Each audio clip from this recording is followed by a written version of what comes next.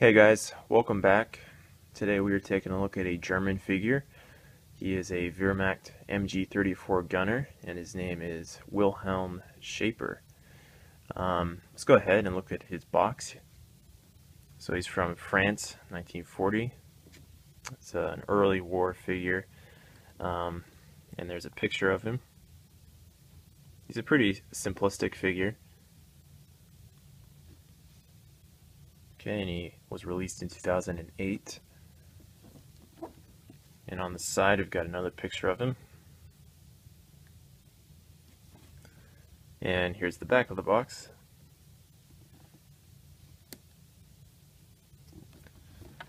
Alright, and as you can tell, uh, this box is a lot thinner, and that's because um, there is no um, equipment on this side. You're only getting stuff um, over here, so there's not not a whole lot of equipment with this figure. He is pretty simple, um, but I do like him. So here he is.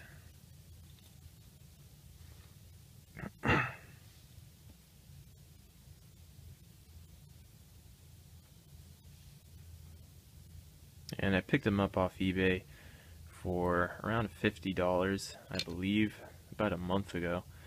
Um, you know, he actually is somewhat rare. He doesn't show up a whole lot, um, so that's why I went ahead and just grabbed him when I saw him. Uh, but he is cool. I like him, um, even though he is pretty simple and a, a standard German soldier, really. Okay, for starters, let's look at his MG34. So I've got him holding that right now.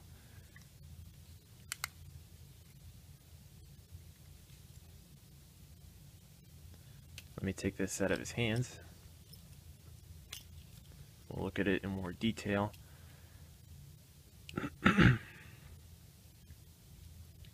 okay, so you can see the bipod in the front. Let me get that latched back on to the uh, MG34 so it's not flying all around the place. Uh, but we got a nice sturdy strap on there. Okay, the sights pop up. You can pull that up. And he does come with a strip of bullets here, which you can put inside of here. Um, it is a little tricky trying to fit this in here. You really got to cram it inside. Um, I was having some trouble with that, but uh, good detail on the weapon, as is expected.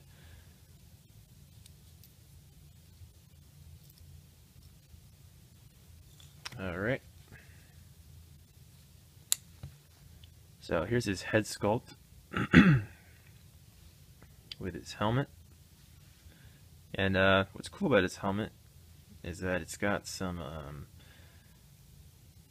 um, good detail on it. You can see that they're trying to go for a, a worn look, like the paint has been scratched off of it in a lot of areas, uh, which I think is pretty cool.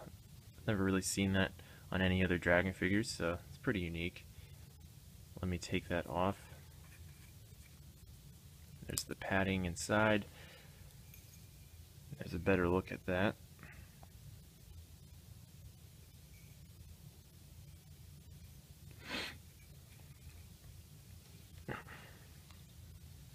And here's his head sculpt, which is um, definitely different. I'm not um, extremely impressed with it. I think, especially for a 2008 model, I feel like it's not as realistic as some of the others. Um, but I do like his expression. Uh, that's a very unique expression he's got there. You can see his teeth.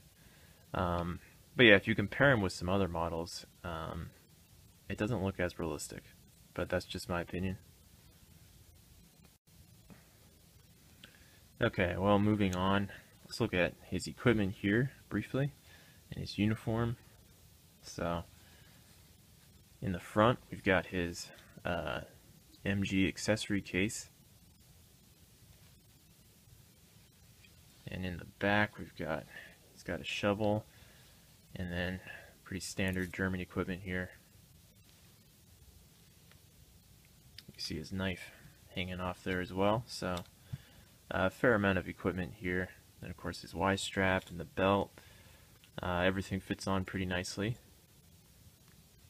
Okay, and we've got his uniform, or this is his field blouse, is what it's called. That looks very nice. Got the shoulder tabs on there, and um, stickers you've got to put on yourself over here on his collar, and then this one on his arm.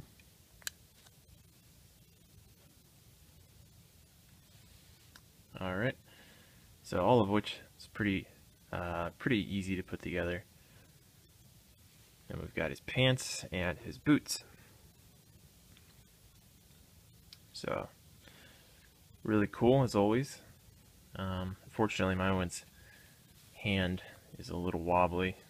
Um, I hate it when you buy these figures brand new and their hands are cracked. Um, it really drives me crazy. So I gotta be careful with that. Um, but yeah, that's everything to show for Wilhelm Schaper. Like I said, he is pretty simplistic, not a lot of stuff here. Um, but he is cool, I do like him. Especially the helmet, I think that's very unique with the um, the detail on that. So, I do recommend picking this figure up. I think he is nice and worth checking out. If you can find him, he is a little, a little bit on the rare side. So, thanks a lot for watching, guys. Always appreciate it. I will see you in the next review.